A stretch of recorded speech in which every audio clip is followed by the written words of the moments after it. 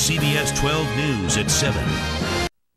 Welcome back. A brand new wine store and academy just opened in downtown West Palm Beach. And the woman behind it has an amazing background. Virginia Philip is the master sommelier at the Breakers. She's joining us live to talk about her new endeavor. But first, let's talk about your title. Not a lot of women have this title. No, we are tw 21 women in the world to have the title. Why is it so rare for women to have Master Sommelier as it's, a title? It's a commonly asked question, and I think the best explanation is that it takes the average uh, person between four and a half and 10 years to actually complete the program.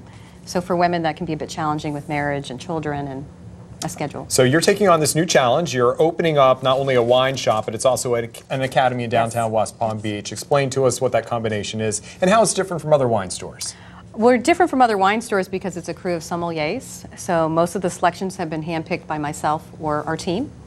In addition, we feel it's very important to take the intimidation out of wine because it can be so consuming and basically intimidating.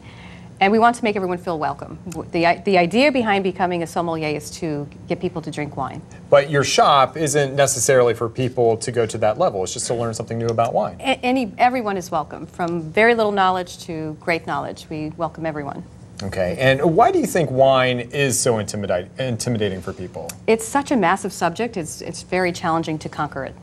And uh, how was your shop different from, say, some of the big box shops that we all hear about and probably shop at? Uh, well, again, our, our selections range from 10 $10 up to 1000 and we try to really take the time and foresight to make sure that it's packed with a lot of gems and goodies. And not that other wine shops don't do that, but when you come in, you're going to get one on one service. Gotcha. Now, I have to admit, I'm more of a beer drinker, so I like wine. We have beer too. I just don't know a lot about wine. So for someone like me, how many classes would I have to take to feel like I have a better grasp? It depends on the individual, but I would say between three and four, and you'd really get a grasp for it.